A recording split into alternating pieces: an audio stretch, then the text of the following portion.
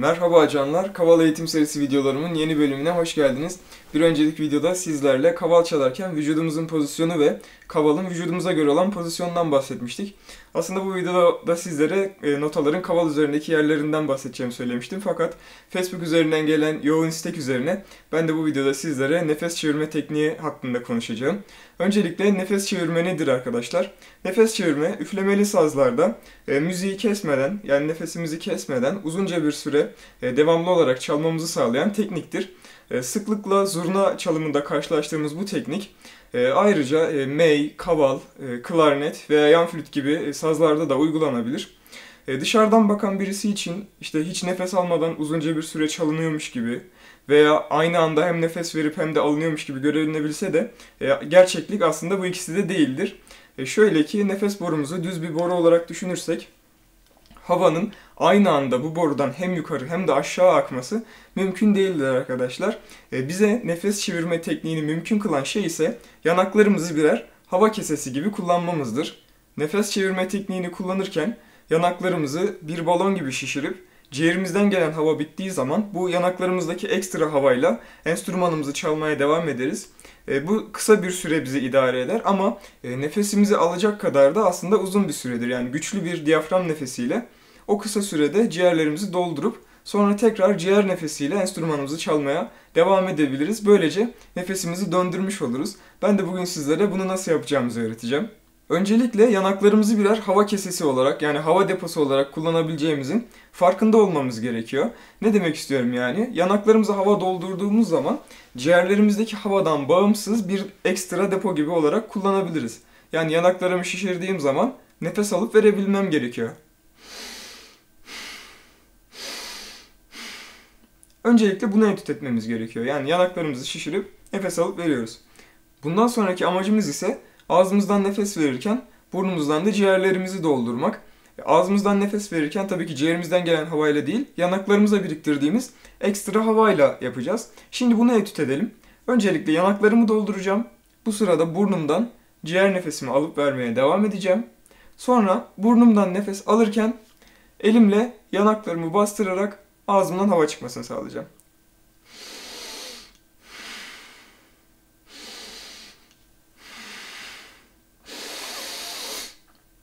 Gördüğünüz gibi burnumdan havayı alırken ağzımdaki biriktirdiğim ekstra havayı da dışarı pompalamış oldum. Bir kez daha gösteriyorum.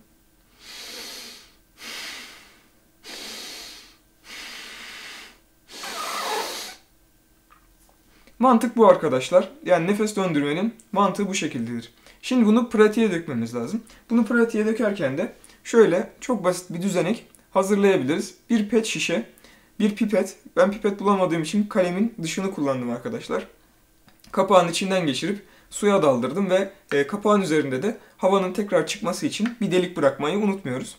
Şimdi az evvel yaptığımız uygulamayı bu şişenin üzerinde pratik yapmamız gerekiyor. Ne yapacağım? Yanaklarımı şişireceğim.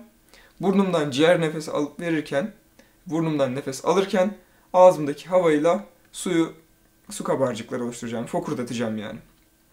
Ama bu sefer elimi kullanmayacağım da kendi yanak kaslarımı kullanacağım. Bakalım.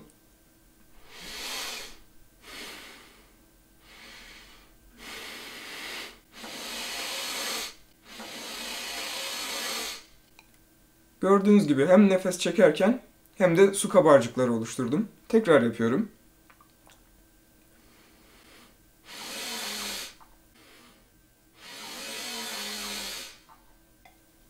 Şimdi burada e, kabarcık oluşturmayı bitirdiğim zaman ben ciğerimi doldurmayı da bitirdim tabii burnumdan nefes aldığım için.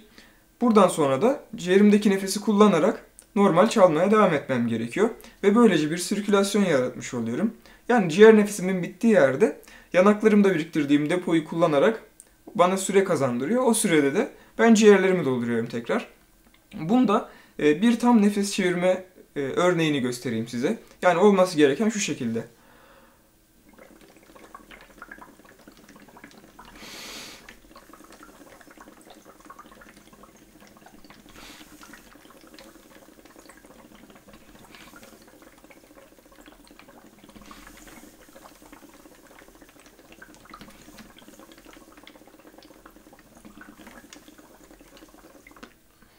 Örneği bu şekilde arkadaşlar. Önce bunu oturtmamız gerekiyor.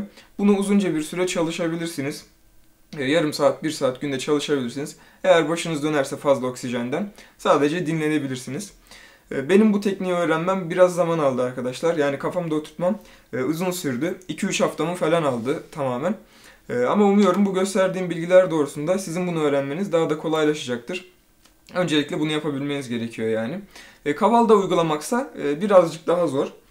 Çünkü kavalda uygularken düşünmemiz gereken fazladan bazı şeyler var.